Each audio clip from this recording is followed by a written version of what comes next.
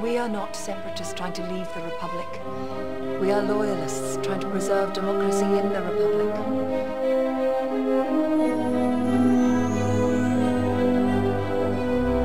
We cannot let a thousand years of democracy disappear without a fight.